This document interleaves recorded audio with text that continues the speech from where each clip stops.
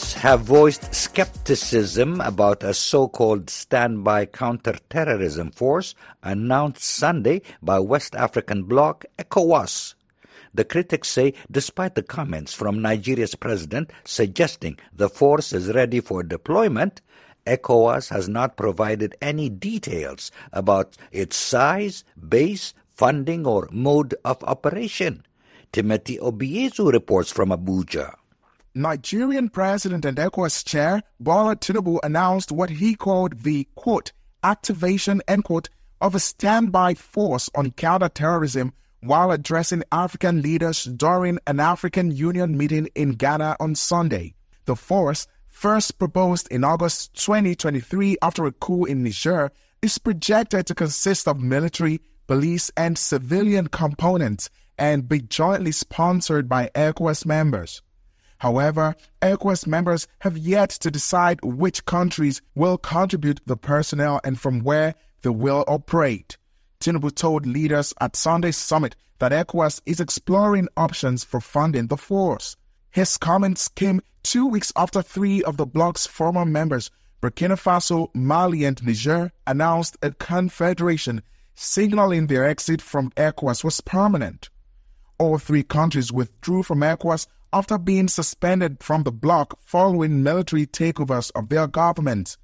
Security analyst Senator Iroegbu says creating a joint ECOWAS force to fight terrorism is a good idea, but questions the regional bloc's readiness.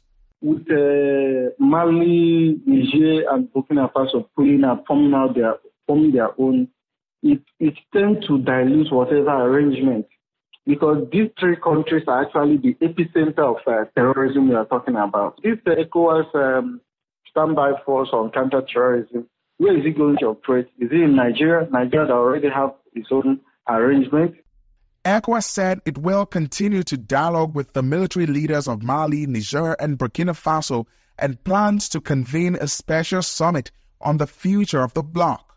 In April, ECOWAS held a counter-terrorism summit in Abuja to strategize on combating terrorism affecting its remaining member states.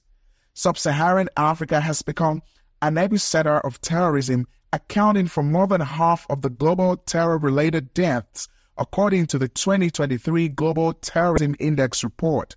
Burkina Faso suffered the highest number of deaths, with Mali, Nigeria, and Niger not far behind. Ahmed Buhari is a political affairs analyst. He is skeptical about the success of the ECOWAS force amid uncertainty and instability within the region.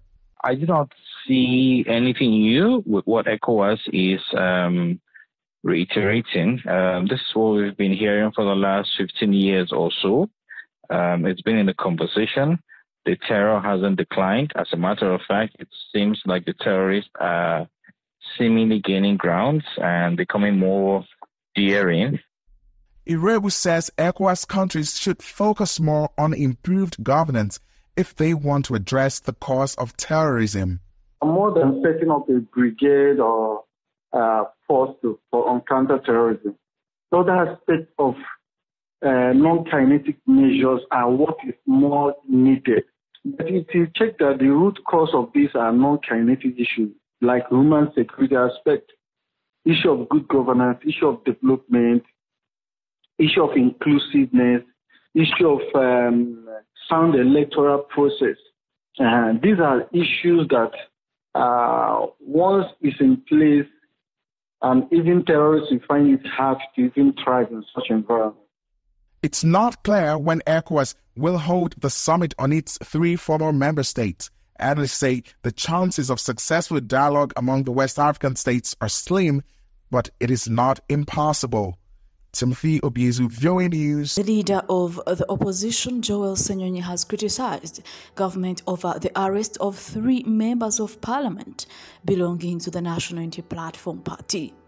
Honorable Hassan Kirumira Katikamo County South, Honorable Charles Tebandeke, Bbaale County, and Honorable Francis Zaake, Mityana Municipality, together with several members of the NUP party, were arrested on Monday, 22nd July 2024.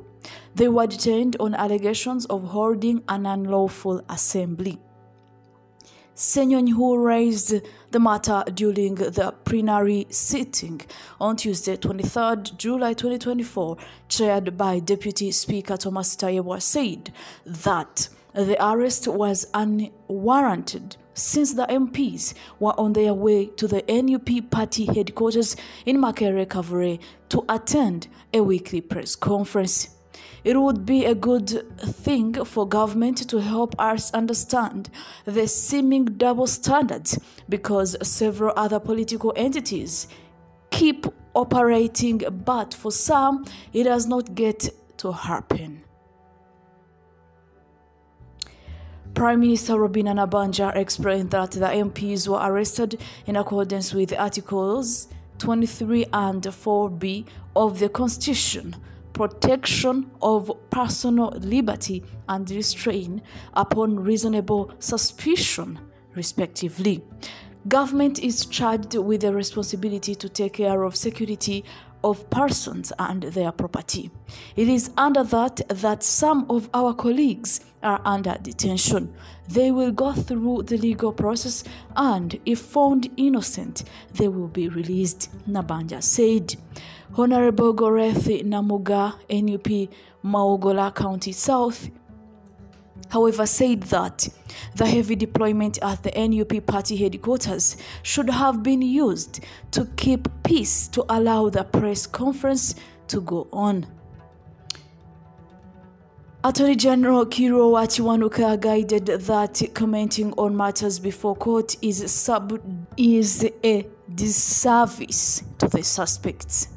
Whereas the opposition may look at everything with suspicion, let us hold the police accountable but allow them to work, he said.